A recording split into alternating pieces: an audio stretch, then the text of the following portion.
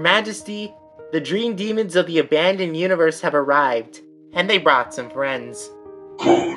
Leave them to me. As you wish. Oh man, King Fiction, am I glad to see you. Why did you guys leave your outpost? Oh, figured you'd ask that. We wanted to live a life on our own. At first, we wanted to take over the universe, but Red and Godzilla convinced us otherwise that that was not the way to go. So, we joined their universe as civilians, and we're happy that way. But you do realize you caused an entire universe to go without sleep for months, right? Why, yes, but. Sleeping is a part of the natural order in every universe, including the one you chose to join rather than manage. Hey, step off of him for that, will ya? You guys have been doing this for billions of years. I bet that this guy deserves a break. And what do you know, Redbird? This is supposed to be our job. This is what we were created to do. But it seems like that it too good for some of us. Yeah, by a creator that hasn't been around since I don't even know how long at this point. The Tyrant King specifically commanded us to do all of this years ago, and at never any point in time did he say that we could stop, and that goes for you Dream Demons as well. And guess what? Even if we have no reason to say he won't come back, he's been gone for a long time, we still believe he'll return. Now, all of you will be thrown into prison for the rest of your sad little pathetic lives. Don't you dare touch any of my friends or I'll blow this place down to the center of its foundations. Wow, I didn't know you had that in you. You know, for being a hippie, you sure come across as aggressive. Now listen to what we have to say. Very well. Now, what is the reason why you guys are actually here? Thank you, Your Majesty.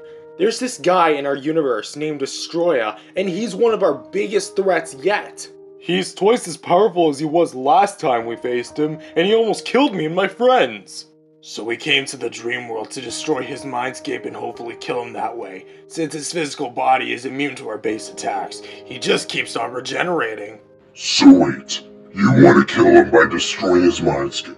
How do you plan to do that?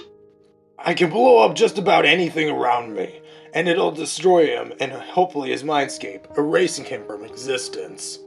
That sounds like a very dangerous plan. We get that, but just as long as Destoroyah is killed and we make it out alive, everything should be fine. If only it were that simple. What do you mean by that?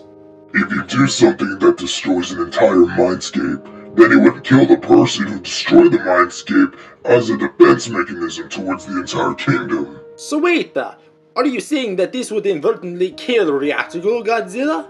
Correct. You would also have to be killed along with Destoroyah. You must be willing to make this sacrifice if you want your world saved. Reactor Glow, you don't have to do this. Well, I don't know what to say. I thought I'd be fine, but I guess not. Well, this is the only way we can do it without harming the environment in our universe.